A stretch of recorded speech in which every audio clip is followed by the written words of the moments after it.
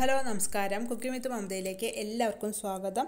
ഇന്ന് ഞാൻ വന്നിരിക്കുന്നത് മുറുക്കിന്റെ റെസിപ്പി ആയിട്ടാണ് പപ്പട മുറുക്ക്. ഇത് എങ്ങനെ ഉണ്ടാക്കാൻ നോക്കാം? വീഡിയോയ്ക്ക് കിടക്കുന്നതിന് മുമ്പ് ആദ്യമായിട്ടാണ് എന്റെ ചാനൽ കാണുന്നതെങ്കിൽ ലൈക്ക് ചെയ്യുക ഷെയർ ചെയ്യുക കമന്റ് ചെയ്യുക സബ്സ്ക്രൈബ് ചെയ്യുക. തൊട്ടടുത്തുള്ള ബെല്ലൊന്ന് പ്രസ് ചെയ്തിട്ട് അതിൽ ഓളൊന്ന് സെലക്ട് ചെയ്യുക. അപ്പോൾ ഞാൻ പുതിയ വീഡിയോസിന്റെ നോട്ടിഫിക്കേഷൻസൊക്കെ കിട്ടും. ഇനി ഇത് എങ്ങനെ ഉണ്ടാക്കാൻ നോക്കാം? അതിനായിട്ട് പപ്പടം അരിപ്പൊടി പൊരിക്കടല അത് പൊടിച്ചെടുക്കണം. പിന്നെ ജീരകം എള്ള്. ആദ്യം തന്നെ ഈ പപ്പടം വെള്ളത്തിലൊന്ന് കുതിർത്ത് വയ്ക്കുക ഞാനൊരു അഞ്ച് പപ്പടം വലിയ പപ്പടം ആയതുകൊണ്ട് അഞ്ചെണ്ണം എടുത്തിരിക്കുന്നത്. ചെറുതാണെങ്കിൽ ആറെണ്ണം എടുക്കുക. ഇനി ഈ പൊരിക്കടല ഒന്ന് പൊടിച്ചെടുക്കുക. നന്നായിട്ടൊന്ന് പൊടിച്ചെടുക്കുക. അതിനുശേഷം ഒരു ബൗളിൽ ഒരു കപ്പ് അരിപ്പൊടി അര കപ്പ് പൊരി കടലയുടെ പൊടി. ഈ മിക്സ്ചറിലൊക്കെ ഇടുന്ന ആ കടലയുടെ പൊടിയാണ് വേണ്ടത്. പൊരിക്കടലയുടെ ആ പൊടി.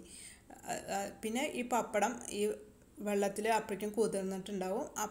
അതൊന്ന് നന്നായിട്ട് അരച്ചെടുക്കുക ഇനി ഇതിലേക്ക് ആവശ്യത്തിനുള്ള ഉപ്പ് ഒരു ഒന്നര ടേബിൾ സ്പൂൺ എള്ള്.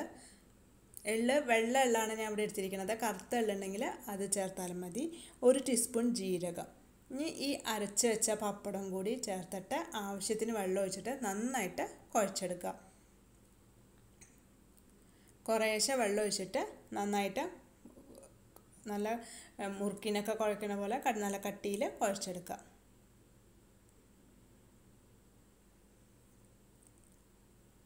ഇനി ഒരു മുറുക്കിന്റെ അച്ചിട്ടിട്ട് അതിലേക്ക് ഈ മിക്സ് നിറച്ചതിന് ശേഷം ഒരു പ്ലേറ്റിൽ എണ്ണ പെറ്റുക എണ്ണ പുരട്ടിയതിന് ശേഷം അതിലേക്ക് നമുക്ക് ഇങ്ങനെ പരത്തിയെടുക്കാം. മുറുക്കിന്റെ ഷേപ്പിൽ പരത്തിയെടുക്കാം. ഇതേപോലെ എല്ലാതും നമുക്ക് പരത്തിയെടുക്കാം. നമ്മുടെ ഇഷ്ടത്തിനനുസരിച്ചിട്ട് വലുപ്പത്തിൽ പരത്തിയാൽ മതി. ഇങ്ങനെ ഷേപ്പാക്കാൻ പറ്റില്ലെങ്കിൽ നേരിട്ട് ചീനച്ചട്ടിയിലേക്ക് ഇട്ടിട്ട് അങ്ങനെ ഉണ്ടാക്കിയാലും മതി. ഇതേപോലെ നമുക്ക് ബാക്കി എല്ലാതും ഉണ്ടാക്കിയെടുക്കാം. ആദ്യം തന്നെ അങ്ങനെ പരത്തിയെടുക്കാം.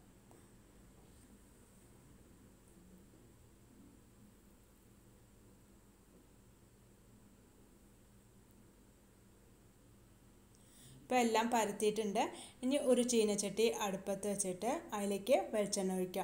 വെളിച്ചെണ്ണ നല്ലോണം ചൂടായതിന് ശേഷം ഒരു ചട്ടുക എടുത്തിട്ട് അതുകൊണ്ട് ഈ ചീനച്ചട്ടിയിലേക്ക് ഇടുക. അപ്പോൾ നമ്മുടെ കയ്യിലേക്ക് തെറിക്കില്ല പിന്നെ ഇത് പൊട്ടൊന്നും ചെയ്യില്ല. അപ്പോൾ ഒരു ചട്ടുകം കൊണ്ട് ഇങ്ങനെ എടുത്തിട്ടാൽ മതി. ഇനി നല്ലോണം തിരിച്ച് മറിച്ചിട്ടിട്ട് നല്ലോണം മൂത്തുണ്ടെങ്കിൽ നമുക്ക് ഇത് വാങ്ങാം.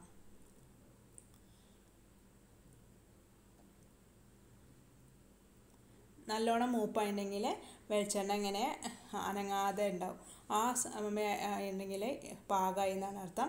അപ്പോൾ ആ സമയത്ത് നമുക്ക് ഈ മുറുക്ക് നമുക്ക് ഒരു പ്ലേറ്റിലേക്ക് മാറ്റാം. അതേപോലെ ബാക്കിയുള്ള മുറുക്കും അല്ലാതെ നമുക്ക് ഉണ്ടാക്കിയെടുക്കാം.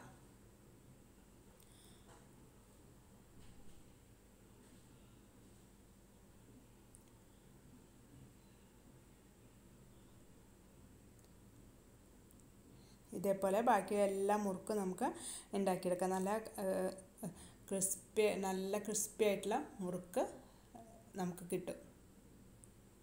എളുപ്പമാണ് ഉണ്ടാക്കാനായിട്ട്. അപ്പോൾ എല്ലാവരും ഉണ്ടാക്കി നോക്കുക. ഈ ഒരളവിൽ ഒരു പന്ത്രണ്ടൊക്കെ മുറുക്ക് ഉണ്ടാവും.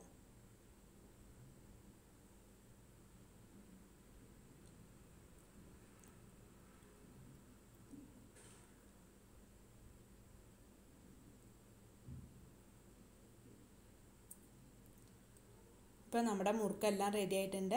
അപ്പോൾ എല്ലാവരും ഉണ്ടാക്കി നോക്കുക. സബ്സ്ക്രൈബ് ചെയ്യാത്തവരുണ്ടെങ്കിൽ സബ്സ്ക്രൈബ് ചെയ്യുക. അടുത്ത റെസിപ്പിയായിട്ട് വീണ്ടും കാണാം. അതുവരേക്കും താങ്ക്